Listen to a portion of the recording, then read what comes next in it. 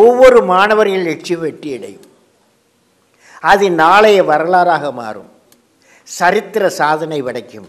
என் இந்திய இளைஞர்கள் வெற்றி எந்த இந்திய இளைஞர்களும் வெற்றி அடைய முடியும்.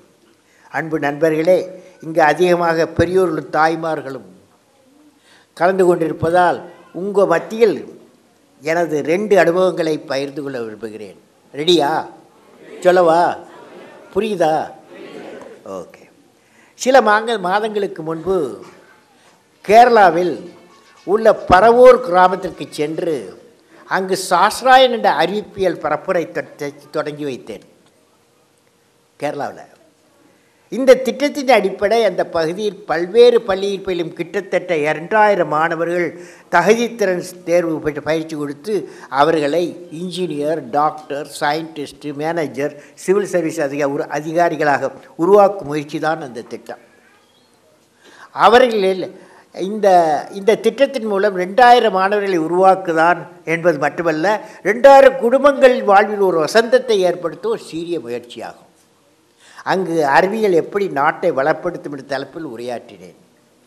என்னுடைய உரை முடிந்தவுடன் நூறுக்கு மேற்பட்ட மாணவர்கள் என்று கேள்வி கேட்ட கையை ஓட்டினார்கள். அவர்களில் பன்னெண்டு மாணவர்களை தேர்ந்தெடுத்து அவர்களின் கேள்விகளுக்கு பதிலளித்தேன்.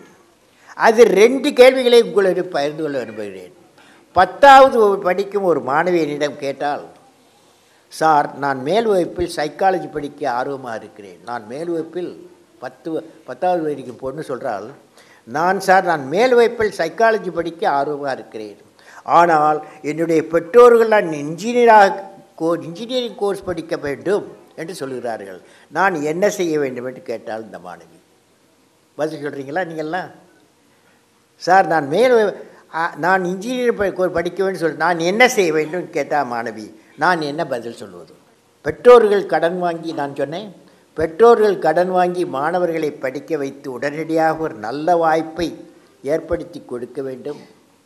அதன் மூலமாக தங்கள் குடும்பம் முன்னேறுவதற்கு வாய்ப்பு இருக்கின்ற ஆசையின் காரணமாக அதிகமாக வேலை வாய்ப்புக்கிற துறையான சில கோர்ஸ்களை படிக்க விரும்புகிறார்கள் பெற்றோர்கள். அவர்கள் ஆசை தவறல்ல நான் சொன்னேன். அது இது நியாயமான ஆசைதான்.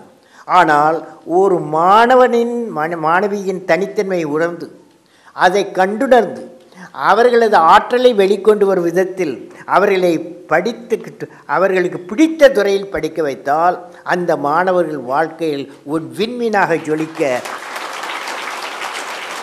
ஒரு அருமையான வாய்ப்பை ஏற்படும் என்று சொன்னேன். இந்த வாய்ப்பை பெற்றோர்கள் உருவாக்கி கொடுக்க வேண்டும்.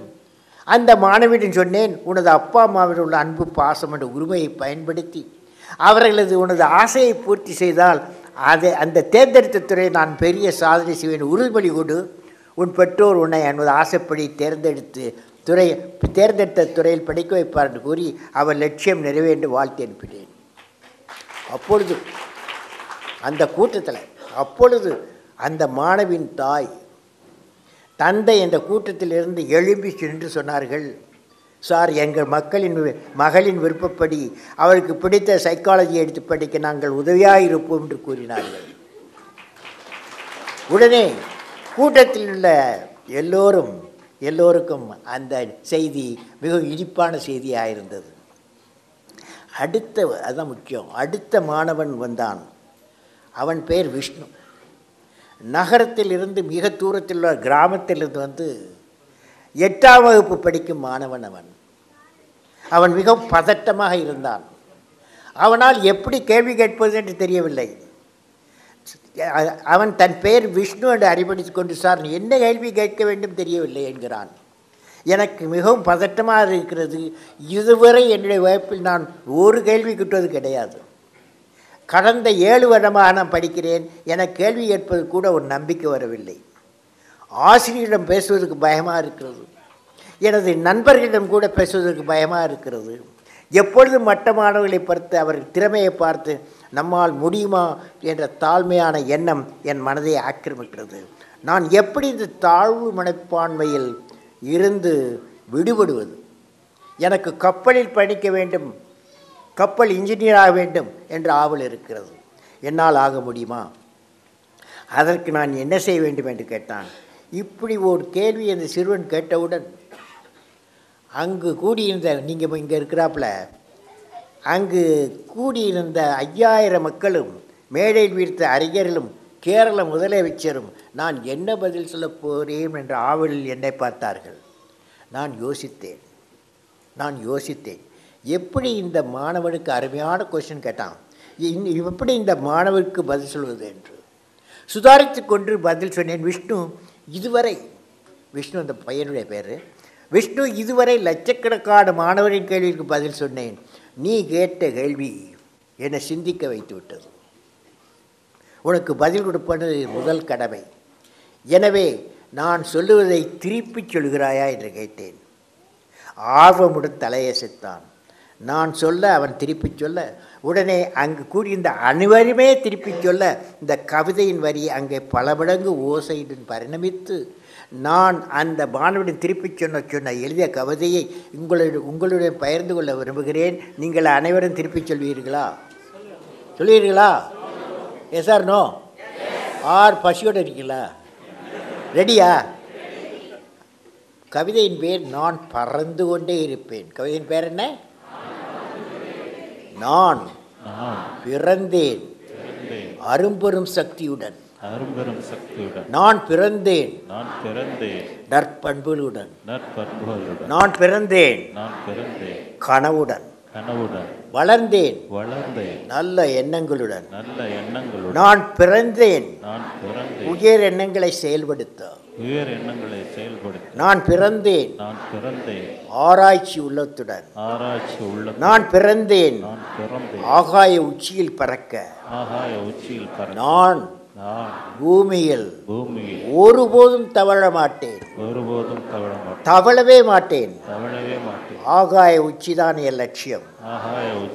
பறப்பேன் பறப்பேன் பறப்பேன் வாழ்வில் பறந்து கொண்டே இருப்பேன். வாழ்வில் பறந்து கொண்டே இருப்பேன்.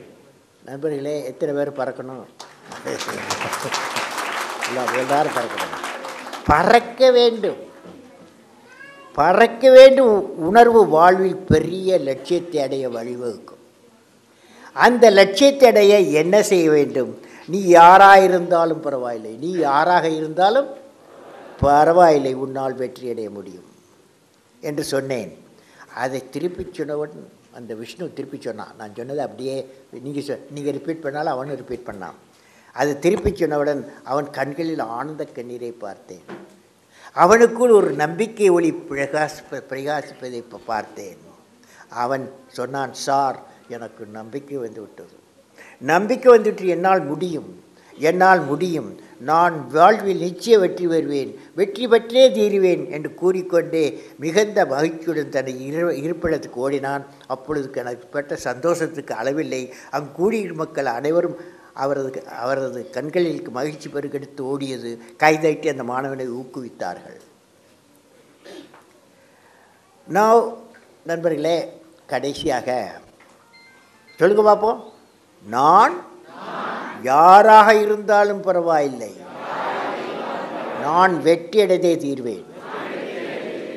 ஒரு ஒரு ஒரு உண்மையான நடந்த நிகழ்ச்சியை சொல்ல போகிறவங்கள்ட்ட நான் டிஆர்டிஎல் ஹைதராபாத்தில் டைரக்டர் இருந்த போது என்னிடம் ஒரு நண்பர் அவர் பேர் கதிரேஷன் என்பவர் கார் டிரைவராக பணிபுரிந்தார். கதிரேஷன் அவர் பேர் என்ன? கதிர அப்பொழுது நீண்ட நேர பழி இருந்துவிட்டு நான் காரில் ஏறி விட்டு செல்லும் பொழுதெல்லாம் கதிரேஷன் ஏதாவது படித்து கொண்டே இருப்பார். சும்மா இருக்க மாட்டார் அவர். டிரைவராக இருந்தாலும் ஏதாவது படித்து கொண்டே இருப்பார். நல்ல புத்தகம் கையில் இருக்கும். அப்பொழுது ஒரு நாள் என்ன படிக்கிறீர்கள் கேட்டேன். அவர் சொன்னார் சும்மா இருக்கும் நேரம் பார்த்தால் எனது குழந்தைகளின் படிப்புக்கு உதவியாக இருக்குமே என்று படிக்கிறேன் என்று சொன்னார். நீங்கள் எதுவரை படித்திருக்கிறீர்கள் படித்திருக்கிறீர்கள் என்று கேட்டேன். அவர் பத்தாம் வகுப்பு வரை படித்ததாக சொன்னார். மேலும் படிக்க ஆர்வம் தான் மிகுந்த ஆர்வம் உண்டு என்றார். ஆனால் என்னால் எப்படி படிக்க முடியும் என்று வினவினார். உடனே அவரை திறந்த வழி பள்ளி மூலம் ப்ளஸ் டூ படிக்க ஏற்பாடு செய்தேன். அதை வெற்றிகரமாக முடித்தார். அதன் பின் பிஏ படித்தார். அப்புறம் டெல்லி சென்று விட்டேன். ஹைதராபாத்லேருந்து டெல்லி வேலை வந்துச்சு அங்கே போயிட்டேன். அதனால் அவர் படிப்பை நிறுத்தவில்லை. தொடர்ந்து படித்தார் எம்ஏ முடித்தார். எம்ஃபில் முடித்தார். பின்பு அரசியல் அறிவியல் பிஹெச்டி படி முடித்து டாக்டரேட் பட்டம் பெற்றார். இப்போது தமிழ்நாட்டில் மதுரைக்கு பக்கத்தில் மேலூர் அரசு கல்லூரியில் பேராசிரியராக பணிபுரிகிறார்.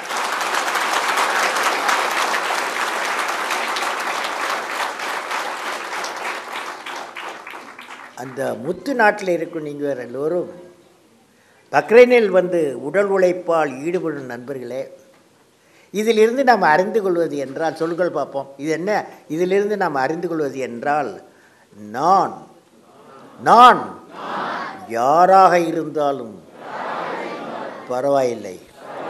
நான் எண்ணுவது விண்மீனாக இருந்தாலும் என் உழைப்பால் நான் எண்ணியது என்னை வந்து சேரும்.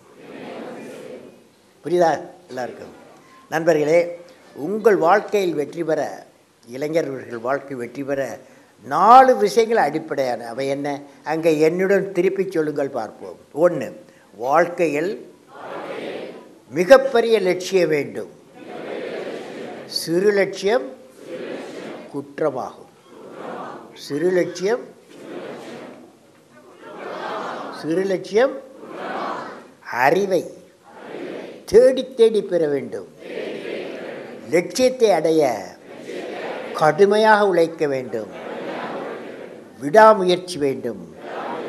அதாவது தோல்வி மனப்பான்மைக்கு தோல்வி கொடுத்து வெற்றி பெற வேண்டும். இளைஞர்களே இளைஞர்கள் இளைஞர்கள் தோல்வி மனப்பான்மையில் இருந்து தவறான செய்திகள் இருந்து ஊழல் சிந்தனையில் இருந்து நம்பிக்கையின்மையிலிருந்து விடுபட்டு உங்கள் இலட்சிய வெற்றி பெற நீங்கள் எல்லாம் கனவு காண வேண்டும். இந்த நான்கு குணங்களும் இருந்தால் உங்கள் கனவு நனவாகும். அப்படிப்பட்ட கனவை ஒவ்வொருவரும் மனதில் விதைக்க வேண்டும். எங்கே என்னோட சேர்ந்து சொல்லுங்கள் பார்ப்போம். ரெடியா டயர்டா உறக்கத்தில். உறக்கத்திலே. வருவதல்ல கனவு. உன்னை. என்னை.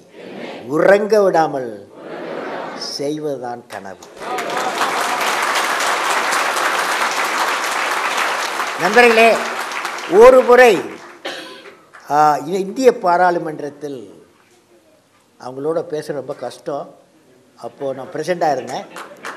எப்படி பேசுகிறது ஒரு நாள் சொன்னால் நான் ஒரு கவிதை பண்ணுறேன் படிக்கிறேன் உங்கள்கிட்ட எல்லாரும் சேர்ந்து படி படிக்க ஆரம்பித்தாங்க சில பேர் நான் ஒரு முறை இந்திய பாராளுமன்றத்தில் ஜேட்லியை பாடிய கவிதை வரிகள் எனக்கு வருகிறது. அந்த கவிதையின் தலைப்பு லட்சியம் நான் தலைப்பு லட்சியம். கவிதையின் தலைப்பு லட்சியம். என்னிடம் எல்லோரும் திரும்ப சொல்லுவீங்களா அது சொன்னால் லட்சியம் வந்துடும் கொள்ளலாம் ஓகே நான் ஏறிக்கொண்டே இருக்கிறேன். எங்கு இருக்கிறது? லட்சிய சிகரம். என் இறைவா நான் தோண்டிக்கொண்டே இருக்கிறேன். நான் தோண்டிக்கொண்டே இருக்கிறேன். எங்கு இருக்கிறது? அறிவு புதையல். என் இறைவா நான் பெருங்கடலில்.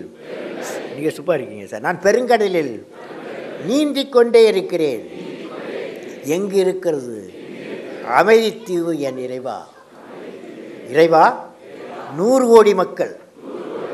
லட்சிய சிகரத்தை அறிவு புதையலையும் இன்ப அமைதியையும் உழைத்தடைய அருள்வாயாக.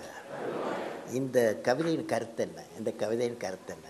நண்பர்களே நம் வாழ்நாள் முழுவதும் படித்து கொண்டே இருக்கிறோம் பணி செய்து கொண்டே இருக்கிறோம். இவளை செய்யும்போது நமது வாழ்வில் ஒரு லட்சியம் வேண்டும். அதாவது நமது எண்ணம் உயர்வாக இருந்தால் அரும்பெரும் லட்சியங்கள் பெரும் லட்சியம் இருந்தால் அருமையான எண்ணங்கள் வரும். எண்ணங்கள் வந்தால் நம் பணிகள் எல்லாம் உயர்ந்ததாகும். பூமியில் பிறக்கும் எந்த குழந்தையும் வாழ்க்கையில் மிகப்பெரிய அறிவாளியாகவும் விஞ்ஞானியாகவும் விளையாட்டு வீரனாகவும் கைதேர்ந்த கலைஞனாகவும் மிக சிறந்த